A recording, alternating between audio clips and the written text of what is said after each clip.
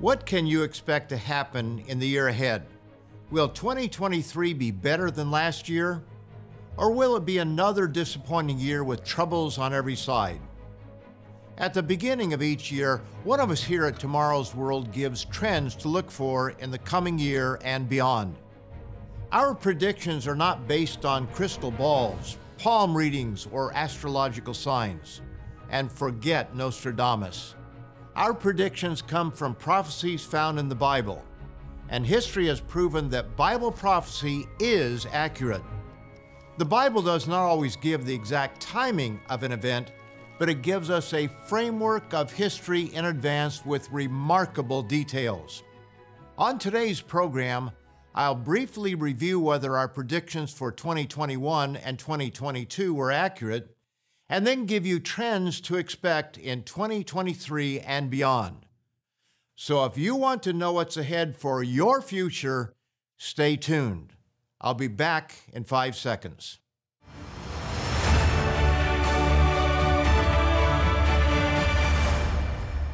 A warm welcome to all of you from all of us here at Tomorrow's World, where we bring you good news of the coming kingdom of God reveal end time prophecies, and explain the clear teachings of Jesus Christ. Is it possible to know the future? And if so, where should we look? Should we look to astrological signs in the sun, moon, and stars? Should we visit that small house on the edge of town where a psychic has set up? Should we try to decipher the writings of Nostradamus, Edgar Cayce, Jeane Dixon, or other well known psychics and astrologers. We here at Tomorrow's World look to the Bible. None of us are prophets, but we can read clear statements from the prophets and point you to what they wrote. But it's reasonable for you to want to know how accurately we've understood their writings. Here's the trend I said to watch for in 2021. Before the break, I told you that I would read from the Bible what God says is in your future. Today, we reviewed predictions and trends proclaimed by Tomorrow's World the last two years.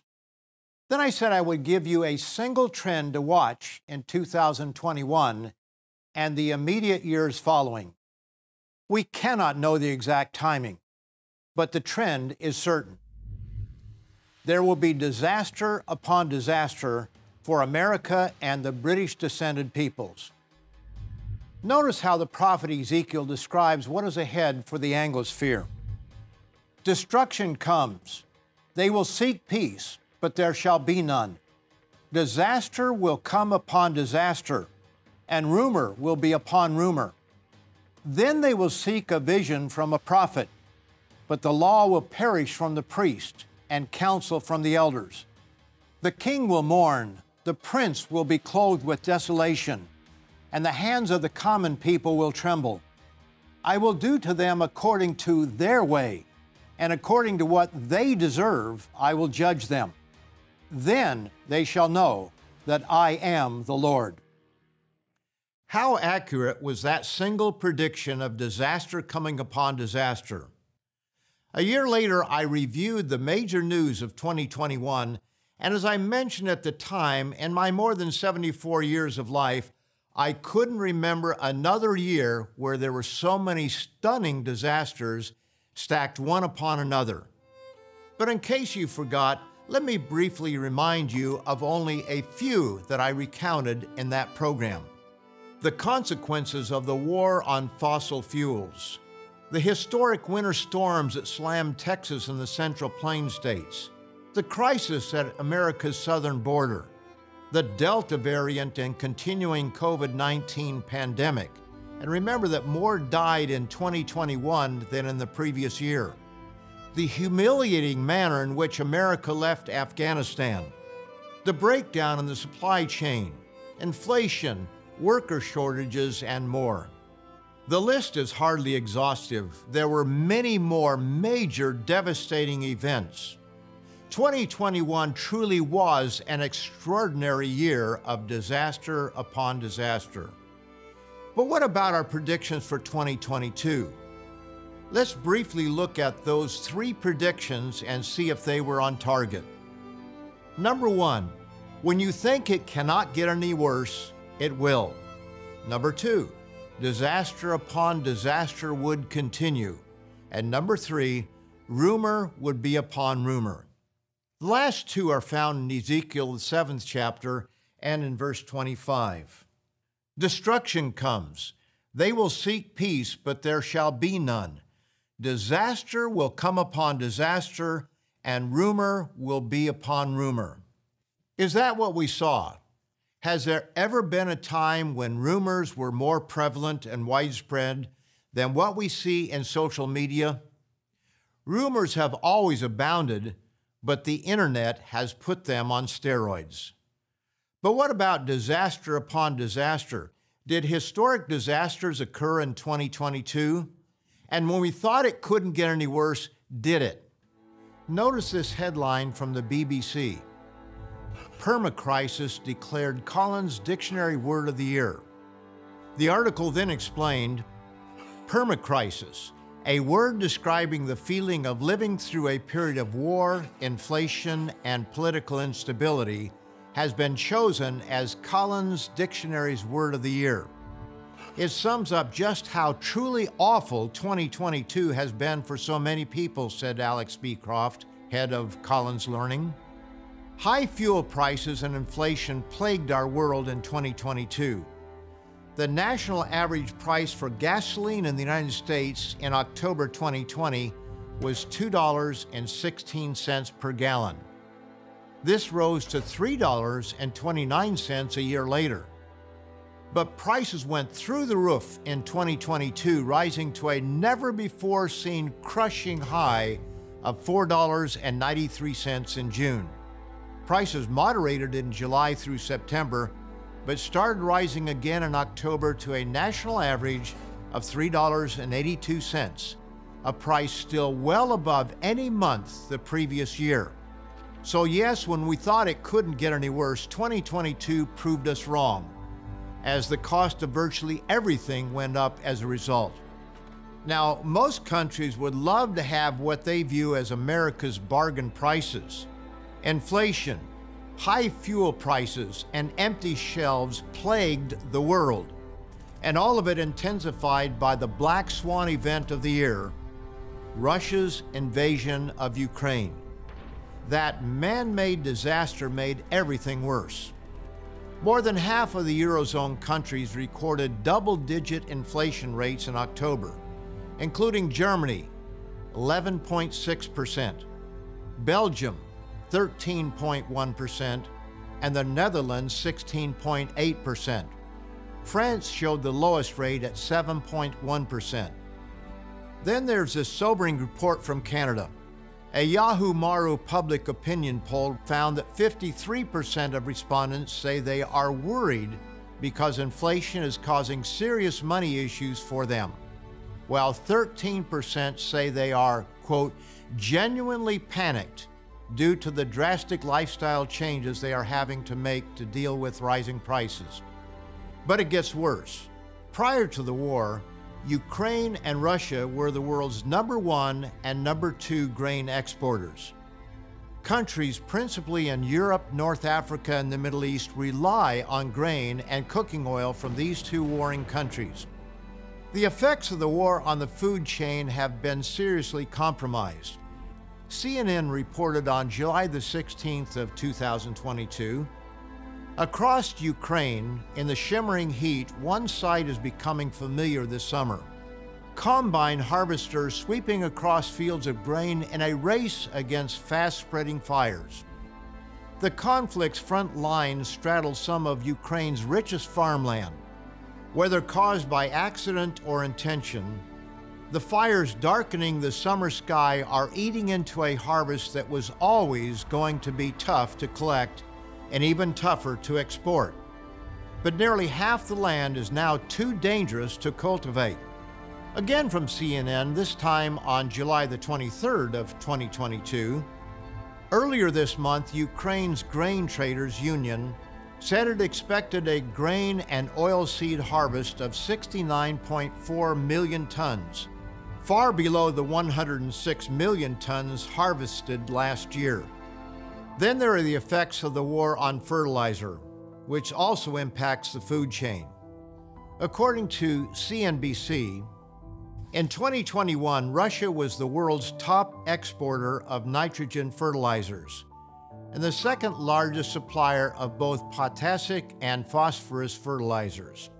Trade between Russia and the rest of the world has not stopped, but has been severely disrupted as importers and vessel charterers steer clear of the country in light of the invasion of Ukraine, CRU head of fertilizers Chris Lawson said on Tuesday. Russia, which accounts for around 14% of global fertilizer exports, has temporarily suspended outgoing trade, which is expected to have a strong ripple effect across global food markets. Is mass starvation in our future? When we think of 2022, another disaster that only got worse was the weather. As of November the 10th, according to the United States Drought Monitor, 47% of the land area of the contiguous 48 states is experiencing various degrees of drought, nearly all of it in the high plains or from the Rocky Mountains westward. Drought affects the entirety of nine states, including California, Nevada, Arizona, Utah, Oregon, and North and South Dakota. Major reservoirs such as Lake Mead and Lake Powell are at record lows, threatening agriculture and electric power generation. Further east, water levels on the Mississippi River normally decline in the fall and winter, but not by nearly as much as they did in October 2022. The Mississippi River is critical to moving agricultural and construction supplies to the Gulf of Mexico for export. But as Fox News explained, critical ship and barge traffic for the agriculture industry has been disrupted. The river moves more than half of all U.S. grain exports, but industry estimates cited by the federal government show the drought has reduced the flow of goods by about 45%. Barges have been stuck there, according to the U.S. Coast Guard, and ships have been advised to lighten their loads. But it's not in America alone. Note this further report from The Verge. In August, officials noted that Europe was likely in the thick of its worst drought in 500 years. The same month, southern China officially entered its longest drought in 60 years of record keeping.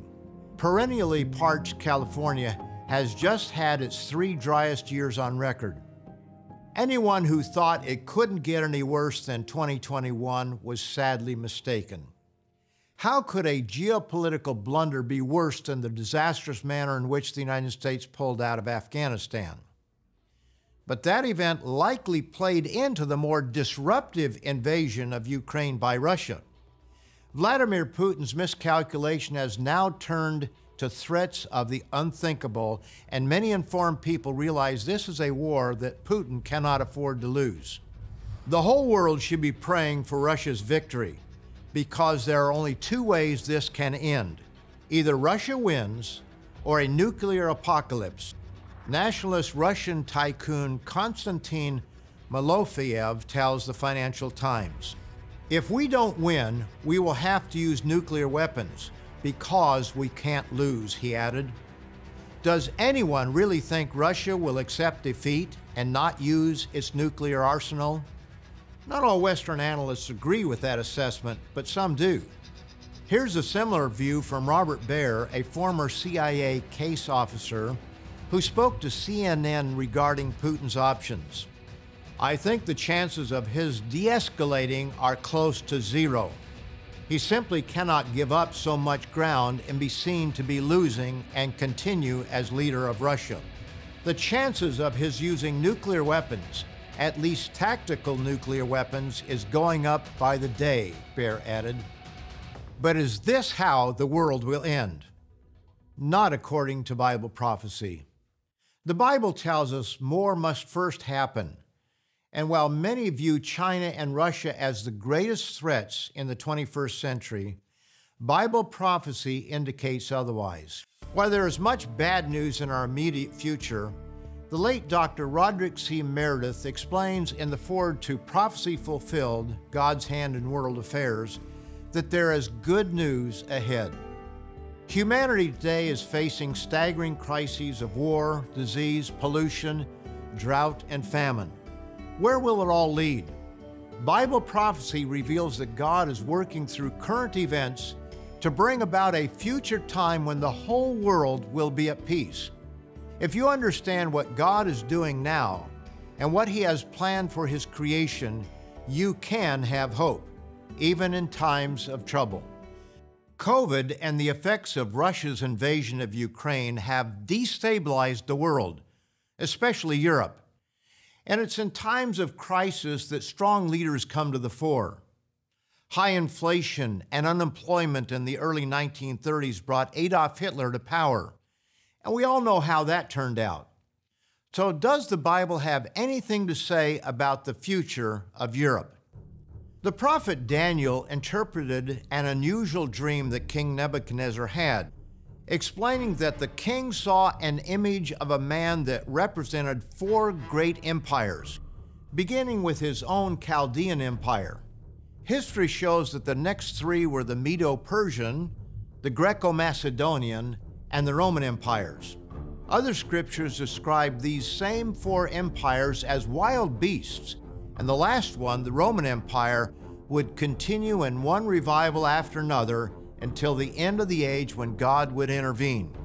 The end of this Roman system is described in Daniel's second chapter, beginning in verse 41.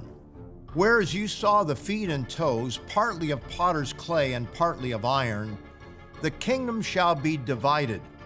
Yet the strength of the iron shall be in it, just as you saw the iron mixed with ceramic clay. And as the toes of the feet were partly of iron and partly of clay, so the kingdom shall be partly strong and partly fragile. As you saw iron mixed with ceramic clay, they will mingle with the seed of men, but they will not adhere to one another just as iron does not mix with clay. And in the days of these kings, the God of heaven will set up a kingdom which shall never be destroyed. Could there be any better description of Europe today? The dream of a United States of Europe, despite a continuing effort to bring such about, has never fully materialized. These nations do not mix any more than iron and clay. Yet the prophecy indicates that 10 nations or leaders will come together for a short time. Revelation, the 17th chapter, speaks of this final empire as a 10 horned beast, the 10 horns matching the 10 toes of Nebuchadnezzar's image. The 10 horns which you saw are 10 kings who have received no kingdom as yet, but they receive authority for one hour, meaning a short time, as kings with the beast. These are of one mind, and they will give their power and authority to the beast. These nations do not naturally adhere to one another, but Bible prophecy shows that 10 kings, that is, kings of nations or leaders of nations, will give their power over to a strong leader. Both the leader and the combine of European nations are referred to as the beast. But what is the glue that will hold them together. Bible prophecy tells us there is a second beast that masquerades as Christ, but is of the devil. Then I saw another beast coming up out of the earth, and he had two horns like a lamb and spoke like a dragon. And he exercises all the authority of the first beast in his presence, and causes the earth and those who dwell in it to worship the first beast, whose deadly wound was healed. We cannot know the exact timing, but the stage is even now being set by more than one crisis gripping Europe.